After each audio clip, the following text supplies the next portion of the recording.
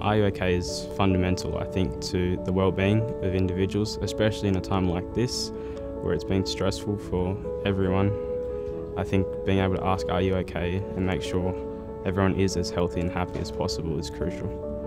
I think that R U OK Day is a very important day. Like, it's really important to ask those questions Are you okay? How are you feeling? What's happening? Because you really gauge what is going on in another person's life, people have the ability to cover up how they're feeling. And by asking those questions, you're really showing that you care for another person. You care for their well being, you care for their growth.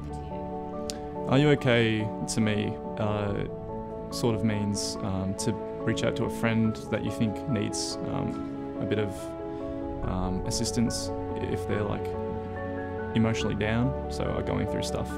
So just helping them out if they are struggling with anything.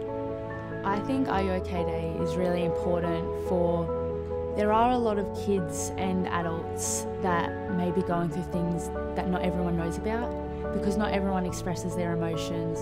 And sometimes it's just nice to ask someone, Are you okay? to let them know they do have support and they do have someone to go to, that they're not alone, and letting them know that. Um, asking, asking more than Are you okay is is important to be able to really gauge the, the need for the individual, to be able to understand how they are truly and how you can impact their lives to benefit them. Well, I think are you okay is very a very generalized question. You can say yes, you can say no, you know, it can be a very short question. So I think um, there needs those leading questions in order to truly gauge how another person is feeling and truly like be able to become a support system for them so that they can overcome their challenges.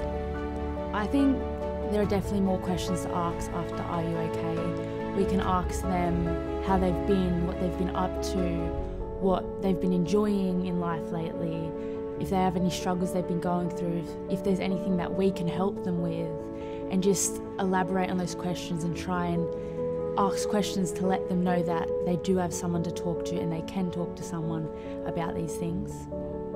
I guess it all comes back to that value of the dignity of another human being and how important everyone's life is and how valued everyone is.